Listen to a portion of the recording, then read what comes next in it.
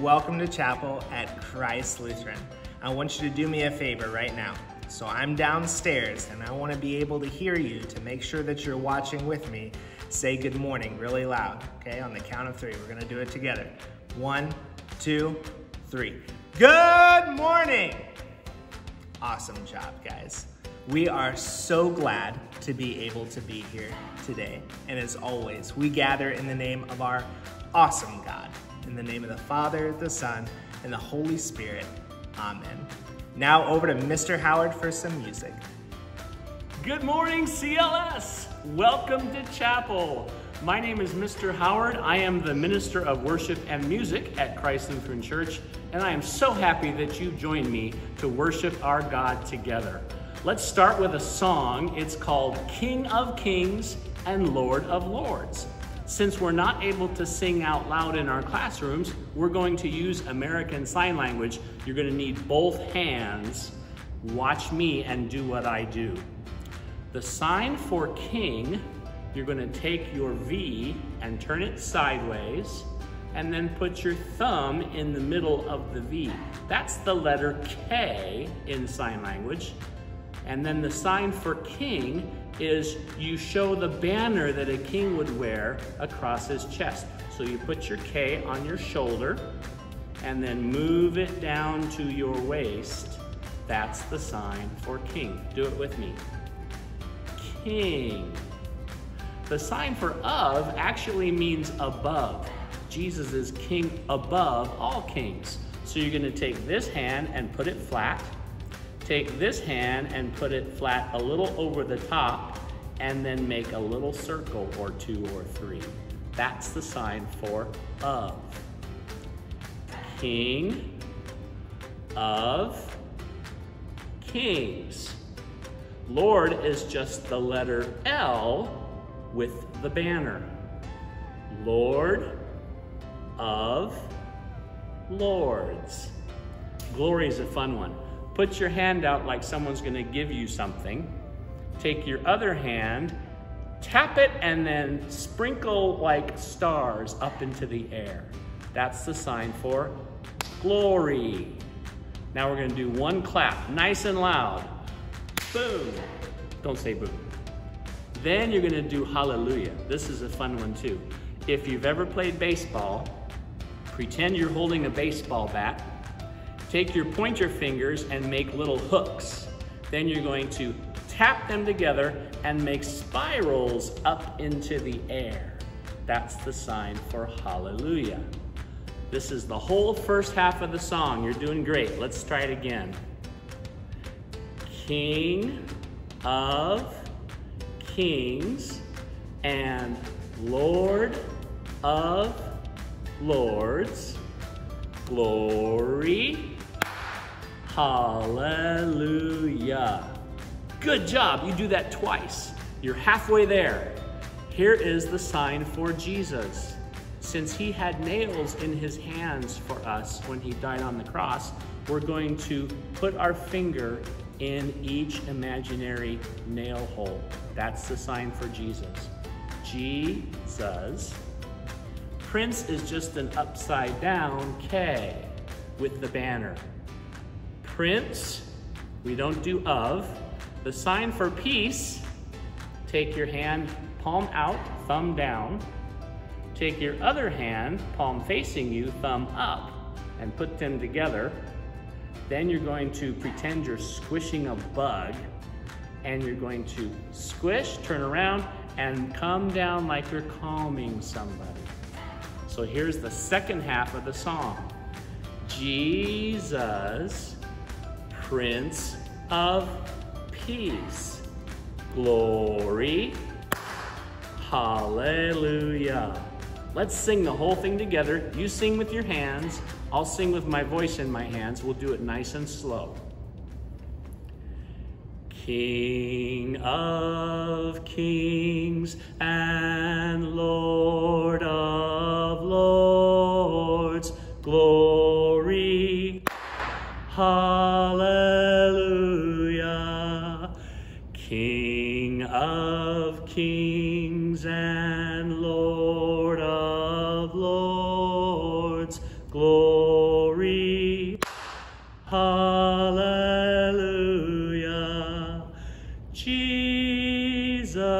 Jesus, Prince of Peace, glory. Hallelujah. Jesus, Prince of Peace, glory. Hallelujah. You ready to do it just a little faster? Okay, one more time. King of kings and Lord of lords, glory. Hallelujah. King of kings and Lord of lords, glory. Hallelujah. Jesus, Prince of peace, glory.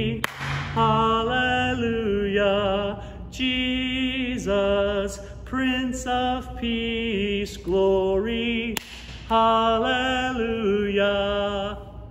You did it! Great job, CLS. One of my favorite uh, Bible verses that's talking about confession is Psalm 51. David cries out to God and says, Create in me a clean heart, O God, and renew a right spirit within me. He's crying out to God to, to change his life from the inside out. And only God can do that. Only God can change our hearts to love Him more than we love ourselves. And so today we take a moment to confess our sins to Him, to tell Him truthfully what He already knows about us. So we confess our sins together by saying, Dear Jesus, please forgive me all my sins. The great thing is, is that because of Jesus, He does forgive us all of our sins. He separates them as far as the east is from the west. He makes us white as snow. He lets us know that we're always His children. So I'll tell you now that all your sins are forgiven. In the name of the Father, the Son, the Holy Spirit.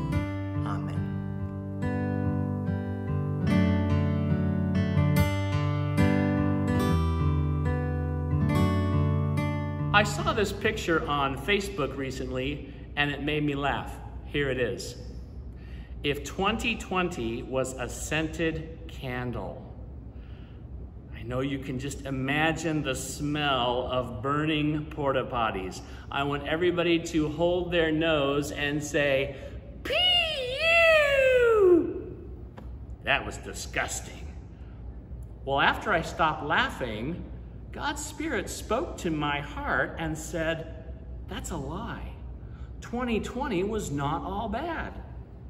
To help you understand this idea, I have a little story to share with you. Stop me, don't stop me if you've heard it, because it's a popular story. There was a Chinese farmer who bought a horse. The horse ran away, and a neighbor says, That's bad news. The farmer says, Good news, bad news, who can say? The horse comes back and brings another horse with him. Good news, you might say. The farmer gives the second horse to his son, who takes him for a ride. The horse throws the young man and he breaks his leg really badly. The concerned neighbor says, So sorry for your bad news. The farmer says, Good news, bad news, who can say? About a week later, the emperor's men come to the village and take every able bodied man to fight in a war. Because of his broken leg, the farmer's son is spared. Good news. And it keeps going like that. That farmer's tale reminds me of the Bible verse from Romans 8. It's one of my favorite promises from God. Here it is. And we know that in all things, God works for the good of those who love him, who have been called according to his purpose.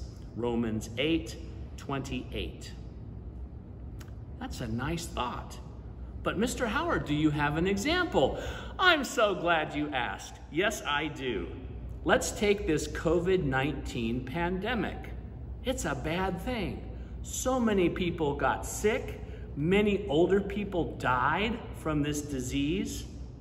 We were upset when the state closed schools and churches. I really miss my handbell students in grades five through eight. And I'm so bummed that we can't practice after school and we can't play in worship yet.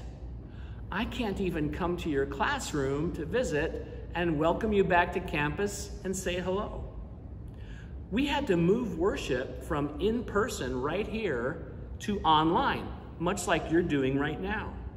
And we thought, there is no way we can produce a quality worship experience for people on their devices at home.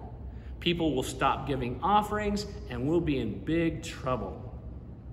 Have you had that happen where your brain will take the worst possible thing and just dwell on it over and over again? That's what my brain was doing. Well, here's what happened. Thanks to some really gifted staff people, we were able to produce a quality online worship experience. In fact, officials from our Pacific Southwest District told us that our online services were the best ones in our whole district. Our offerings did not go down, and we were able to reach more people online with the good news about Jesus than we could have ever reached in person. But by far, the best result is that God's kingdom grew. Very recently, we celebrated a baptism of a mom to be who saw Pastor Travis on TV praying at the La Mesa riots. And she and her husband decided to join our church and have her baptized. God knows what He is doing, even when we do not. And he is still fulfilling his promise to work for good, even when bad things happen. Riots, bad. Baptism, priceless. So I want to encourage you the next time you have something bad happen in your life, I want you to remember to ask God to show you how He is working it for your good. Now, it may take a while, and his answer might even be no. But keep asking and keep trusting that his promises never fail. He will make bad things happen for good. You can count on it. Please pray with me. Dear Lord, thank you for keeping all of your promises. We are especially grateful for your promise in Romans 8 28 to work out everything that happens to us for good, even when really bad things happen. Help us to trust you in all things and not trust in our own limited understanding. Direct our steps to follow you all the days that you give us until you come back to take us home to be with you forever. We pray this in the name of Jesus, who took the worst thing, dying on the cross, and made it the best thing saving us from our sins and giving us new life. Amen.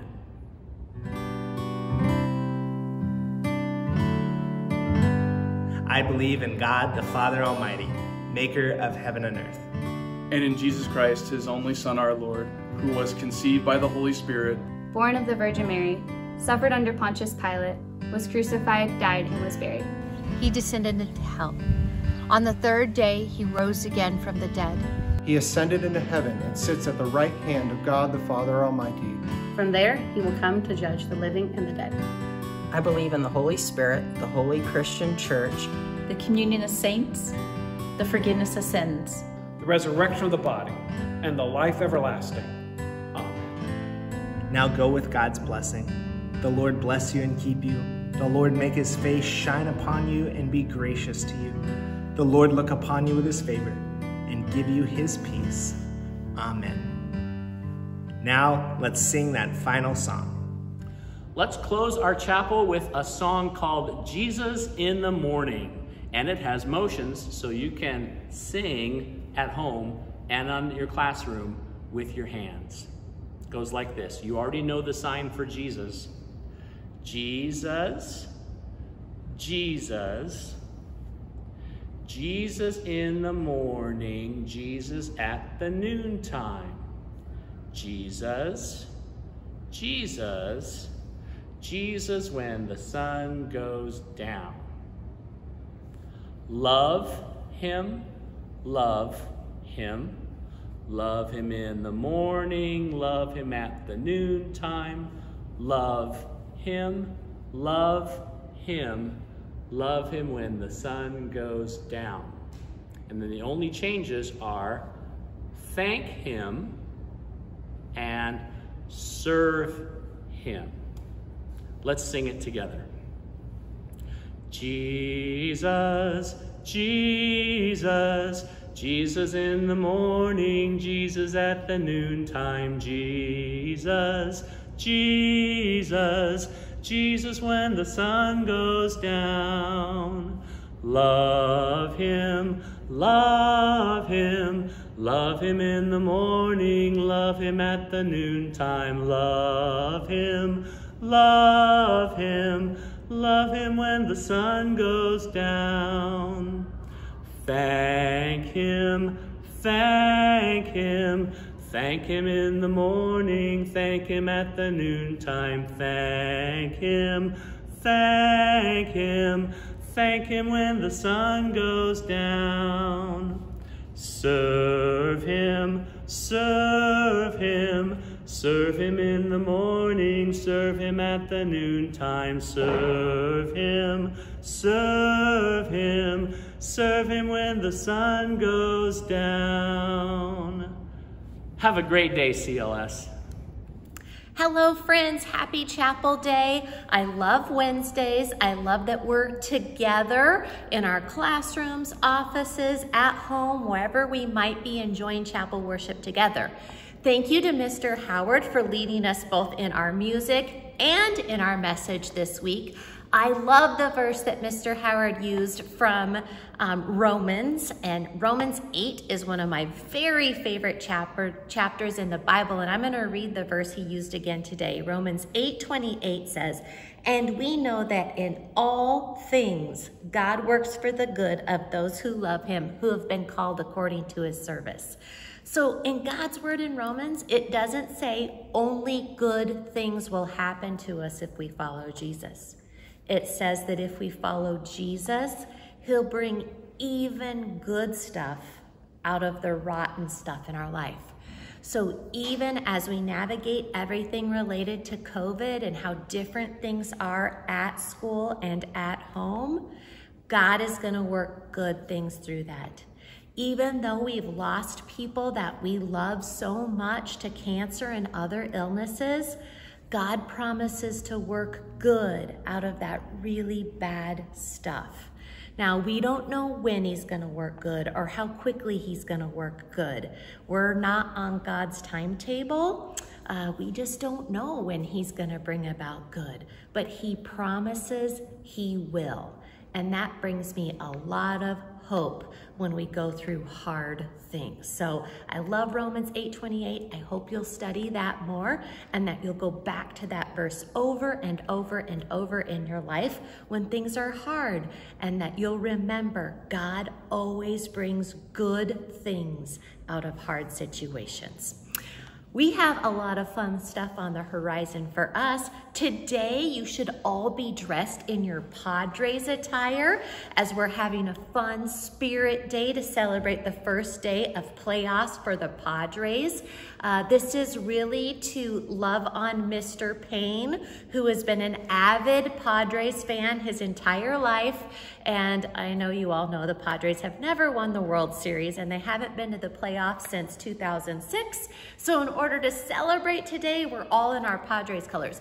I'm filming this the day before, so I'm not in my Padres attire right now, but I happen to be wearing Padre colors already. So that will be super fun. I hope you participated. Spirit Days are so fun. If you didn't participate today, don't worry. We'll have extra Spirit Days in the future. So go Padres.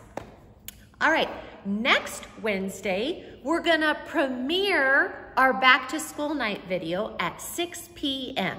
So when you go home after school next Wednesday, you want to make plans to watch our back to school night video with your family. So it's only to premiere at 6 p.m. Now, if you can't join us right at 6, that's fine. You can watch it later in the evening or another night.